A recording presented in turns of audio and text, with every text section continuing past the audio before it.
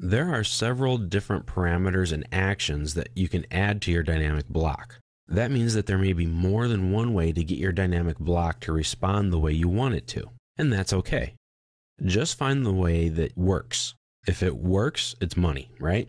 So remember to keep it though as simple as you can because the more complex you make it, the more unexpected results and undesired results you might have. But if it's too simple, it just might not work. So remember that. So let's look at some dynamic blocks that are already made that come with AutoCAD. They'll help us understand what we can do with them. Open up your tool palette and let's go to the architectural tab and the toilet. Insert it into your drawing. Now, one nice thing about blocks is that once you select them and you right click, you can edit them. It'll open them right up in the block editor.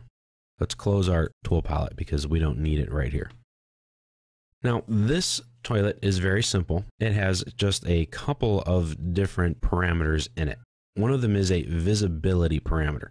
Now, I said earlier that all parameters need actions. Well, visibility is the exception. Visibility, though, does have some other aspects to it. So this is the visibility action. If you select it, you can right click and you can change some of the grip displays. You can reset the position, turn it off even if you want. And the visibility parameter has different visibility states. Now, we showed you this one earlier in our example, and what it does, it basically just toggles through different drawings. Your visibility states can be found up here in your block editor contextual ribbon tab, right here in the visibility panel. If you click on the visibility states button, you'll get a list of all the different options that there are available to you. We have elongated front, elongated plan, side, etc. Now you can change this order of the lists, moving them up and down. You can even delete some of them. You can rename them. You can make a new one or you can set one as being current. So this is the elongated front. Let's say I wanted the round front. Select it and hit set current and then OK. They don't really look much different. You can also go up here and get to your different ones like this. Just pick the one that you want to look at. Visibility state works this way. In any specific state, certain line work or objects are visible. So it changes the state of visibility, thus the name. So in this state, which is called the elongated front, this is what you see. I can go to any one of these and set them current so that I can edit them. And anything I draw in here now will be edited in this visibility state. I could also add a line, just as an example. And when I switch from the round side to the round plan, you can see that line is gone. So that's nice. This makes it easy to make these changes. Now, if I pick an object and I right click on it, I can change the object visibility of it. I can hide it in this current state. I can show it. I can hide it for all states, or I can show it for all states, which is what I just picked. So now, wherever I go, that line is also going to be there. Now, if I delete it here, it's gone everywhere because it was set up to be shown everywhere. So if you want something to be in one specific visibility state, you need to draw it and add it to that current state. So that's the way visibilities states work. We also have in here what's called the flip view. Now, the parameter for that is flip. Seems rather obvious, right? And then the action for that is flip. Some of the parameters and some of the actions only go together, like the flip parameter and flip action. So if we were to set up a flip parameter and action, you would first start with your flip and you have to specify a reflection line, or that's the line in which it's going to be flipped on. So let's draw it right here. So you pick your first point and you can see that dotted line. It's kind of hard to see. It's not very dark. I'm going to draw a line. I'm going to make it kind of an angle. And now we put where our flip select button is. It's going to go right there. And you can see this is going to flip it about this line. This parameter needs an action. So we go to the action and we pick flip. Now we select our parameter, which is this one. And now we pick our objects. What are we going to flip? Well, these are just regular lines. And so we can pick them just like you normally would. Anything you don't want to flip, you don't pick it. Press enter, and there you go. The flip is real easy to look at. So that's how you add a flip state to it. When you're all done, you can close the editor. Now, if we go from this visibility state to another, you can see that that flip wasn't added to it. It was only in that one visibility state. So visibility states are kind of cool because you can have so many different blocks within one block. Let's close, save the changes, and here we go. We go to our visibility state, and we need to go to the section we edited, which is right here. This is the round side. We have the standard flip, and we have our flip that we added. Didn't quite work. Well, sometimes things go wrong. Sometimes the process is followed incorrectly. There are a lot of different ways to look at that and to go about fixing it. So when you find out that it's not right, select the block, right click, and go back into the editor. We need to go into a specific setting, which is right here, and you can look at it. You can right click, and we can try to figure out what's going on. And if you can't, then just select it and delete it and redo it. You can try the parameter sets if you'd like. Sometimes I find them to be even more confusing, but sometimes they can really help out. Let's set our line here again. Specify our location for the flip state.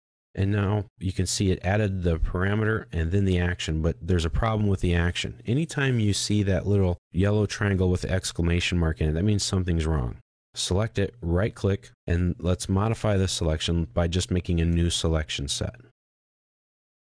Let's pick everything. Make sure to include your parameter in that selection set. I think that's what we did wrong the last time. Close the block editor, save changes. Let's go to our new visibility setting, and there we go.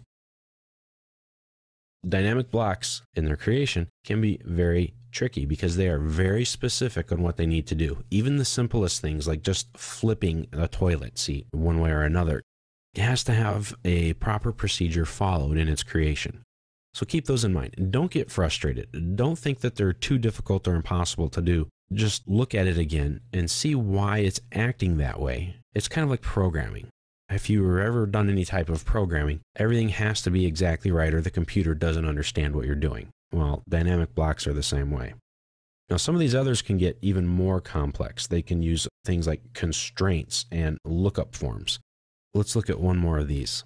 If we look at the structural tab and we look at the WF beam, insert it, close our tool palette to clear up some space. If I select this here, I have essentially one grip. And this is just for the different sizes or different types of wide flange beams, and it draws it accordingly to the specs. Well, let's look at this and see how complex or simple it might be. Go to the block editor. There's a lot of things in here. Now, this block is using what's called parametric constraints. There's another section that we're going to talk about those in, and we'll really get more in depth in them. Just think of them as dimensions or literal programming for your geometry. We see this depth here of our beam is programmed to 4.173 units and there's a lock on it. This is a dimensional constraint, which is found right here. We have geometric constraints, which I'll show you. These are different glyphs. This one here means that it's perpendicular. This keeps things horizontal. This one keeps things parallel. We'll talk about parametric constraints, both geometric and dimensional, later on. But as you can see, there's a lot that goes into this, or that did go into it. This is our lookup table. If I select it and right click, I can look at some of the information on it. I can look at the properties. I can see what's been selected or not selected. Now, a lookup table is a little bit different.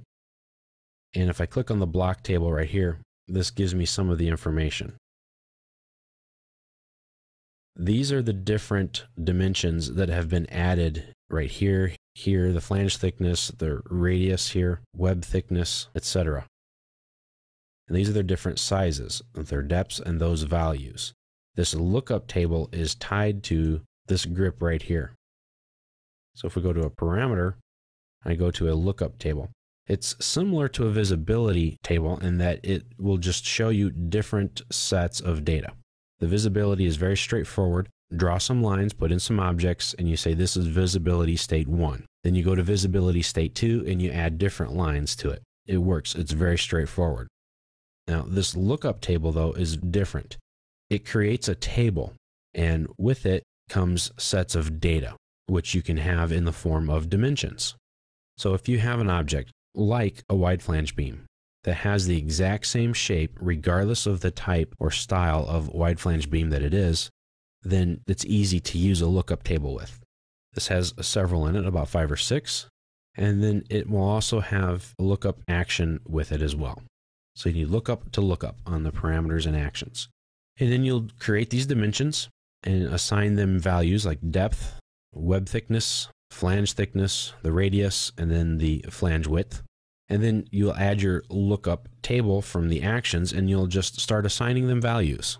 And once you do all of that, each set of values creates a different option to display your values in. Once you create that lookup table with the different constraints and dimensions, you have your different values here, which act in a way that are similar to the visibility states.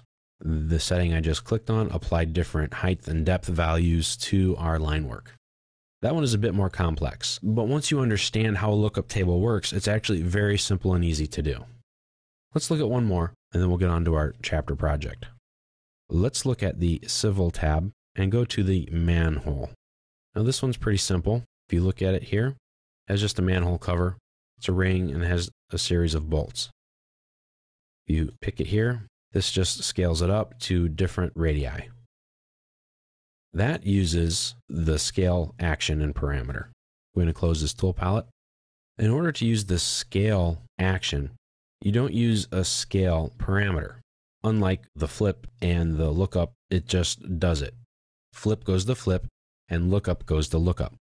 Well, in this case, if you're going to scale something, you typically need a linear or polar or an XY alignment value. So this is a linear.